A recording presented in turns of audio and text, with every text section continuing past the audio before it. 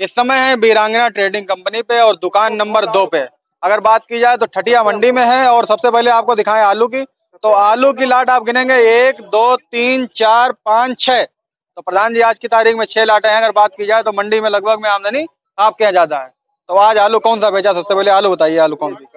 ये वाला आलू आलू भी दिखाना चाहेंगे तो ये वाला आलू है ये मीडियम साइज़ का है ज़्यादा बड़ा भी नहीं ज़्यादा छोटा भी नहीं आलू है। तो ये प्रधान जी का रेट बैग दिया है। ये आठ सौ एक रुपए। आठ सौ एक रुपए। तो लेने वाले मौलाना जी हैं। हाँ लेने वाले। तो आप आप कहाँ से हैं भैया आप बताइए। लखीमपुर खीरी।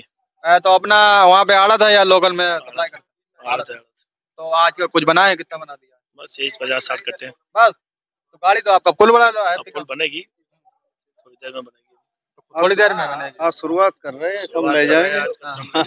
कम ले जाएँगे। अच्छा आज शुरुआत कर रहे हैं तो कुल मिला के आज शुरुआत है और शुरुआत के समय पे आलू थोड़ा कम ले जाएँगे। तो अपने यहाँ क्षेत्र की अगर बात की जाए तो प्रधान जी कब से आलू अच्छा आने लगे? कोई सत्ताईस अट्ठाईस तारीख से आने लगे।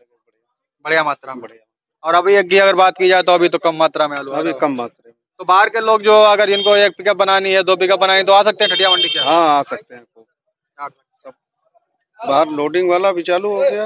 लोडिंग वाला और सारी हाँ, तो कुल मिला के लोडिंग वाला भी चालू हो गया और लोकल में भी आलू की बिक्री होने लगी है।